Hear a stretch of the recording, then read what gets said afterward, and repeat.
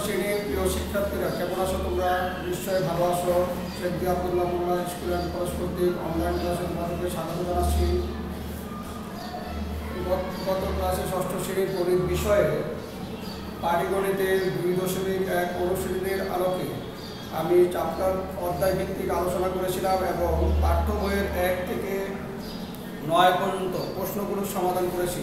নিশ্চয়ই তোমরা বাসায় করেছ এবং বুঝতে পেরেছ আজকে দুই দশমিক এক অনুশীলনী পাঠ্য বইয়ের দশ থেকে ষোলো পর্যন্ত আহ, অনুশীলনী অঙ্কগুলো আছে সেগুলো আজকে আমি তোমাদেরকে সমাধান করিয়ে দে করাবো মনোযোগ দিয়ে ক্লাসটি দেখবে শুনবে এবং অঙ্কগুলো করার চেষ্টা করবে। তাহলে শুরু করছি দশ নম্বর প্রশ্ন। পিতা ও পুত্রের বয়সের অনুপাত চোদ্দ অনুপাত তিন। পিতার বয়স ছাপ্পান্ন বছর হলে পুত্রের বয়স কত? তাহলে পিতা, পুত্রের বয়স অনুপাত, সমাধান, পিতা ও পুত্রের বয়সের অনুপাত চোদ্দ অনুপাত তিন। পিতা পুত্রের বয়সের অনুপাত চোদ্দ অনুপাত তিন। অর্থাৎ পুত্রের বয়স। পুত্রের বয়স। পিতার বয়সে। পুত্রের বয়স পিতার বয়সে। পিতা বয়সে চোদ্দ বাই তিন গুণ। ঠিক আছে? তারপরে প্রশ্নের মধ্যে দেওয়া আসে দেওয়া আসে, পিতার বয়স পিতার বয়স ছাপ্পান্ন বছর। পিতার বয়স ছাপ্পান্ন বছর হলে পুত্রের বয়স পিতার বয়সে চোদ্দ বাই তিন গুণ। আমরা এখন পুত্রের বয়স বের করব। প্রশ্নে বলে দেওয়া আছে পুত্রের বয়স নির্ণয় করো পুত্রের বয়স সমান সমান ছাপ্পান্ন গুণ চোদ্দ বাই তিন গুণ বছর চার চোদ্দ ছাপ্পান্ন। তিন চারা বারো। তাহলে আমরা পুত্রের বয়স পেলাম কত? বারো বছর। প্রশ্নে বলে ছিল পিতা পুত্রের বয়স অনুপাত চোদ্দ সমস্ত, চোদ্দ অনুপাত তিন পিতার বয়স ছাপ্পান্ন বছর পুত্রের বয়স? পিতা পুত্রের বয়স অনুপাত চোদ্দ অনুপাত তিন পুত্রের বয়স পিতার বয়সের চোদ্দ বাই তিন গুণ। দেওয়া আছে পিতার বয়স ছাপ্পান্ন বছর, পুত্রের বয়স কত? ছাপ্পান্ন গুণ চোদ্দ বাই তিন, সমান সমান বারো বছর। বুঝতে পারছ শিক্ষার্থীরা? সহজভাবে গল্প করার চেষ্টা করলাম, অন্যভাবে করা যায়, এক ধরে, ক ধরে করা যায়। পরবর্তী প্রশ্ন, সমাধান করব। এক, দশ থেকে ষোলো পর্যন্ত আছে তো? তাহলে আমি দশ নম্বর করছি, এখন বারো নম্বর প্রশ্ন সমাধান করব। দশ নম্বরটা তোমরা বাসায় নিজে নিজে চেষ্টা করলে অবশ্যই পারবে, যদি ক্লাসটা দেখে থাকো। বারো নম্বর প্রশ্নে বলা আছে দুটি বইয়ের মূল্যের অনুপাত, পাঁচ অনুপাত সাত। দ্বিতীয়টির মূল্য চুরাশি টাকা দেওয়া আছে। প্রথমটির মূল্য কত? তাহলে সমাধানে আমরা আসি দেওয়া আছে দুইটি বইয়ের মূল্যের অনুপাত, পাঁচ অনুপাত সাত। দ্বিতীয় বইটির মূল্য চুরাশি টাকা। তাহলে প্রথম বইটির মূল্য অনুপাত দ্বিতীয় বইটির মূল্য মূল্যের অনুপাত।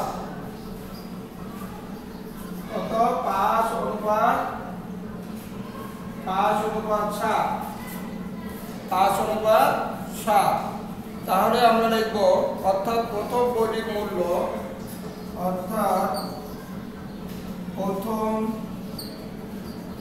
বইটির মূল্য দ্বিতীয় বইটির দ্বিতীয় বইটির দ্বিতীয় বইটির মূল্যের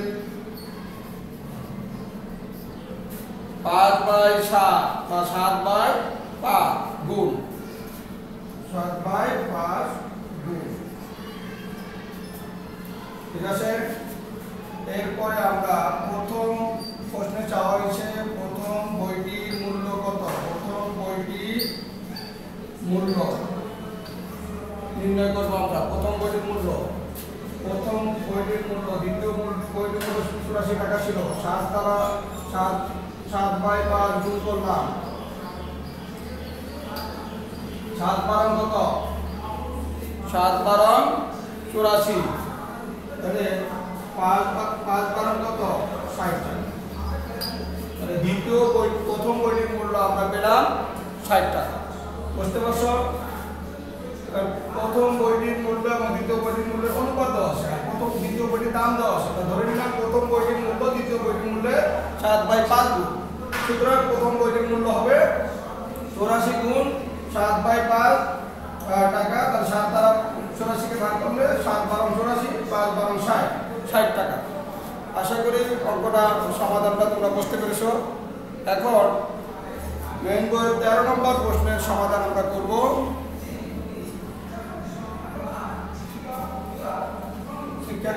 করো, তেরো নম্বর প্রশ্ন ওজনের সোনার গহনা। সোনা ও খাদের তিন ওই গহনায় সোনা ও খাদের পরিমাণ নির্ণয় করো।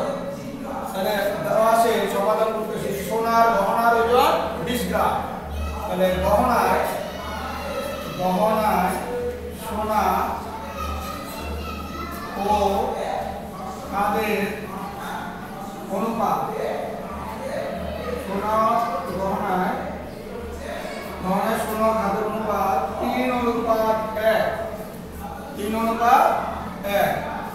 মোট আনুপাতিক ভাগ, মোট এটা অনুপাত থেকে আমরা যোগ করব। মোট আনুপাতিক ভাগ অথবা অনুপাত দ্বয়ের রাশিগুলো যোগ কর। কত? তিন একে যোগ করলে চার। তাহলে গহনায় টোটাল গহনার ওজন হলো বিশ গ্রাম। গহনায় সোনার পরিমাণ সোনার পরিমাণ বিশ গুণ টোটাল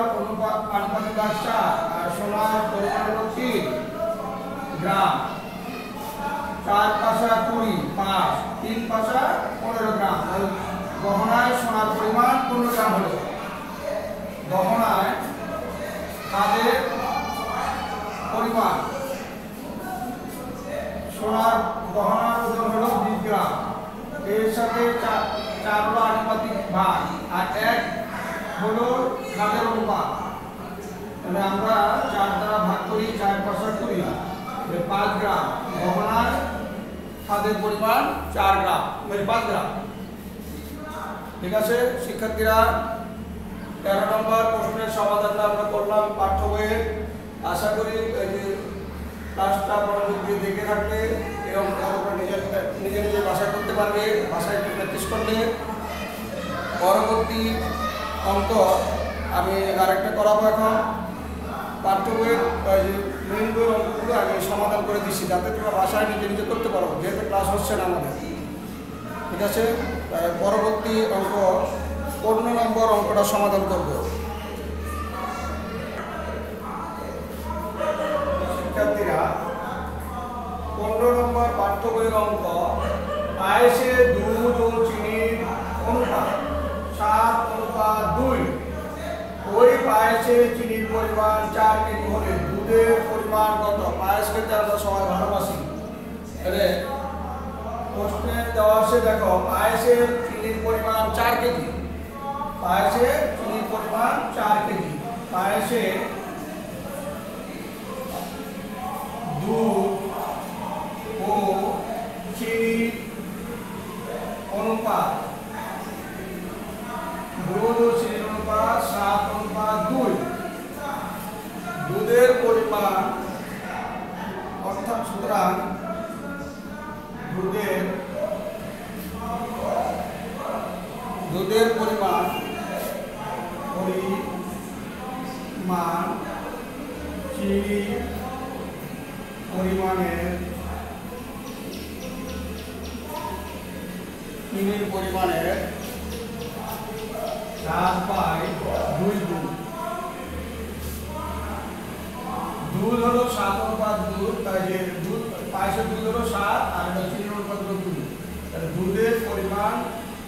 দুধের পরিমাণ চিনি অনুপাত চিনির পরিমাণে দুই বাই সাত দুই।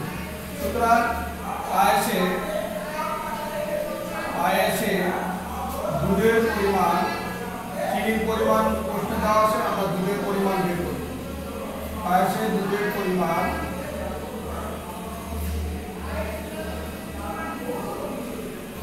চার গুণ দুই দুই বাই সাত রেখে কেজি এখন চারকে দুই দ্বারা কাটলাম সাত দোকানে চোদ্দ মানে পায়েসে দুধের পরিমাণ চোদ্দ কেজি অবশ্যই বুঝতে পারছ যে পায়েসে চিনির পরিমাণ চার কেজি পায়েসে দুধ ও চিনির অনুপাত সাত অনুপাত দুই তাহলে অর্থাৎ দুধের পরিমাণ চিনির পরিমাণের দুই বাই সাত গুণ। সুতরাং পায়েসে দুধের পরিমাণ হবে চার গুণ সাত বাই দুই, আর দুইকে চার দ্বারা কাটলাম, দুই- তাহলে কত হলো দুই? সাত দোকানে কত? চোদ্দ কেজি। তাহলে পনেরো নম্বর অঙ্কের সমাধানটা আমরা করলাম। সর্বশেষ আমরা পাঠ্য বইয়ের ষোলো নম্বর অঙ্কটা করব, আর বাকি অবশিষ্ট যে অঙ্কগুলো থাকবে, সেগুলো বাড়ির কাজ অবশিষ্ট যে অঙ্কগুলো থাকবে, সেগুলো কাজ আমি পরে লিখে দিব। দেখুন, এগুলি সহ পুরাটা বাড়ি কাজ করবে। এখন ষোলো নম্বর অঙ্কের সমাধানটা করব।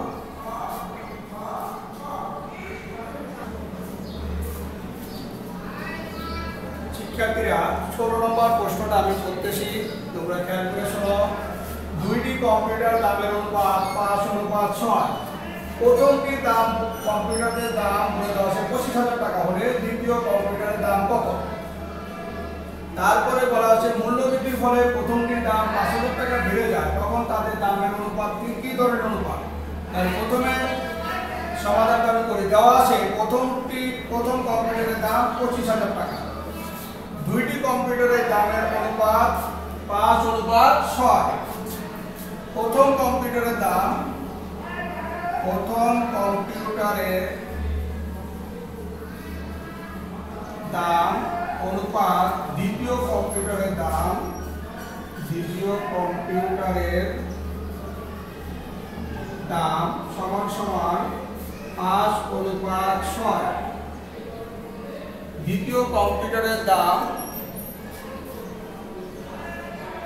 দ্বিতীয় কম্পিউটারের দাম প্রথমটি দেওয়া আছে, দ্বিতীয়টা বাই করতে হবে। দ্বিতীয় কম্পিউটারের কম্পিউটারের দাম প্রথম কম্পিউটারের প্রথম কম্পিউটারের প্রথম কম্পিউটারের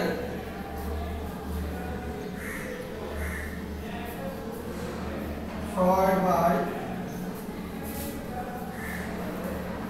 পাঁচ বাই পাঁচ বাই ছয় পাঁচ বাই ছয় দ্বিতীয় কম্পিউটারের দাম প্রথম কম্পিউটারের পাঁচ বাই ছয় গুণ। তাহলে আমরা এখন বের করব দ্বিতীয়টির দাম। দ্বিতীয় কম্পিউটারের দাম কম্পিউটারের দাম পঁচিশ হাজার টাকা হলো প্রথমটার দাম, একে পাঁচ দ্বারা ভাগ আর ছয় দ্বারা গুণ করলে দ্বিতীয়টা আমরা পেয়ে যাব। পাঁচ পাঁচা পঁচিশ, পাঁচ হাজার। পাঁচ হাজারকে ছয় দ্বারা গুণ করলে তিরিশ হাজার টাকা। তাহলে দ্বিতীয় কম্পিউটার দাম আমরা পেলাম তিরিশ হাজার টাকা। ঠিক আছে, শিক্ষার্থীরা, দ্বিতীয় কম্পিউটার দাম পেলাম আমরা তিরিশ হাজার টাকা। পরে বলছে, পরবর্তী প্রশ্ন, মূল্যবৃদ্ধির ফলে প্রথমটির দাম পাঁচ হাজার টাকা বেড়ে যায়। তখন তাদের দামের অনুপাত কি? কি ধরনের অনুপাত হবে? যেহেতু প্রতিষ্ঠানের কম্পিউটারটা আগে পঁচিশ হাজার টাকা কেনা হয়েছিল, এখন পাঁচ হাজার টাকা বেড়ে গেলে তার মানে তিরিশ হাজার টাকার ফলে এখন দুইটা কম্পিউটারের দামের অনুপাতটা কি হবে সেটা আমাদের বের করতে হবে। দ্বিতীয় কম্পিউটার অনুপাত তিরিশ হাজার টাকা, একটা উত্তর আমরা বের করলাম। পরবর্তী কাজটা আবার করতেছি আমরা, খেয়াল করো।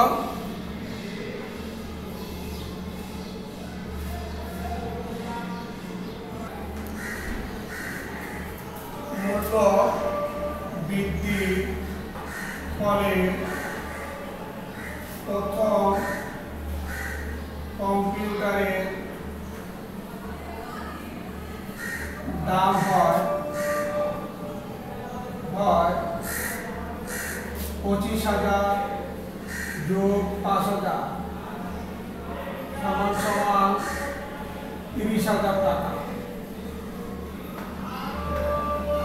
হাজার টাকা। মূল্যবৃদ্ধির ফলে প্রথম কম্পিউটারের দাম পঁচিশ হাজার টাকা ছিল, এটা হয়ে গেল তিরিশ হাজার টাকা। পাঁচ হাজার টাকা যোগ করার পর। কিন্তু কিন্তু তখন কিন্তু তখন দ্বিতীয় কম্পিউটারের দাম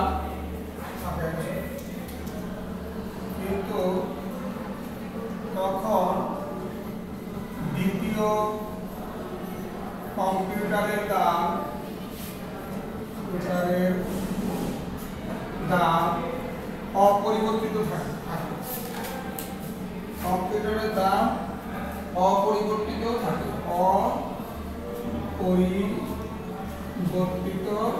থাকে। দ্বিতীয়টা তিরিশ হাজার বেড়েছে, দ্বিতীয়টা তিরিশ হাজারে থাকবে। শুধুমাত্র প্রথমটার দাম পরিবর্তন হয়েছে। উদ্দীপকে বলা ছিল। মূল্য বৃদ্ধি ফলে কম্পিউটার দুইটি কম্পিউটার দুইটি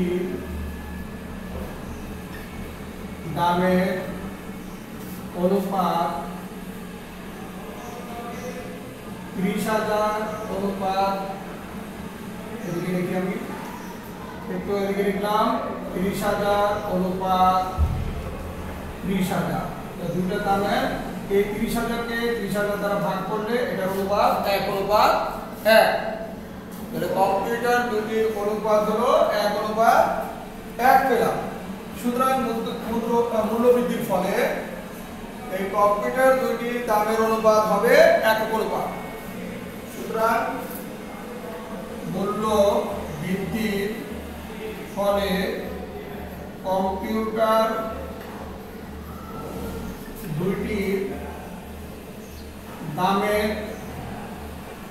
অনুপাত হবে একক অনুপাত। একক অনুপাত। আমরা জানি দুইটার অনুপাত যদি একই রকম হয়, উভয় রাশির অনুপাত মান যদি একই হয়, সেটারও একক অনুপাত। আশা করি শিক্ষার্থীরা তোমরা বুঝতে পেরেছ। আর আমরা মেন বইয়ের ষোলো পর্যন্ত অঙ্কগুলো সমাধান করলাম।